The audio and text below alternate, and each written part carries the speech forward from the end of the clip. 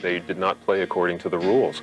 And they came at a time when the rules were strangling the music. I think they, they just blew the 80s nonsense apart.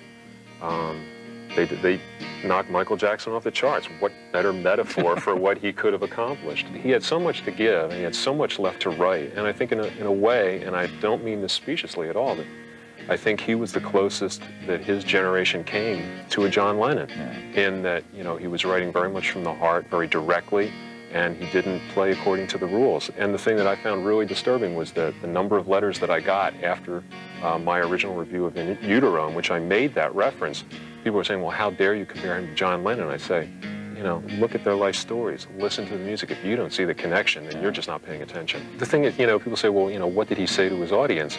Well, he was his audience. Yeah. In a way, I'm, i really feel that this is a great loss. This is not just some, you know, rock star who couldn't handle success and took an easy way out.